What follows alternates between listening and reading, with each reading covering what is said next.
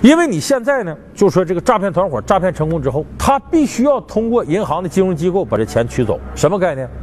一般来说，一次这个电信诈骗，他那个诈骗账户，他都会告诉你往我这个账户里汇钱。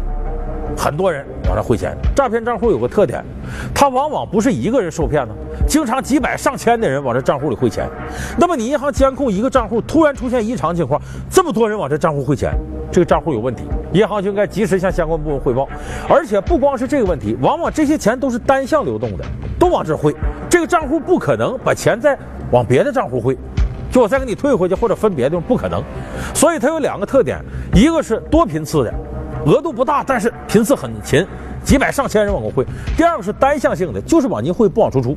应该说这点来说，银行监管是一点不成问题的。就首先，它能把犯罪的这个账户给控制住，因为诈骗账户存在之后，大量的钱进来了，怎么取走呢？他需要办银行卡才能取走，需要化整为零，要在一个部门取走太扎眼。比方说，诈骗了四百万。在一个地方一下取四百万，这多显眼！他会犯罪分子很聪明，会采取什么方式？我办几百张卡，然后分散到各个地方，有国内有国外的各个地方，把这钱分期分批取走。那么他必然要多办银行卡。那么银行呢？办银行卡有利益冲动，所以银行首先呢，犯罪分子愿意多办银行卡啊。这一边呢，银行愿意多发银行卡。再有非常重要一点呢，我给你举个例子啊，曾经有一次有一个诈骗团伙在台湾。诈骗了三千八百万人民币，结果这个团伙呢，为了能取走这些钱呢，办了三千六百零七张银行卡。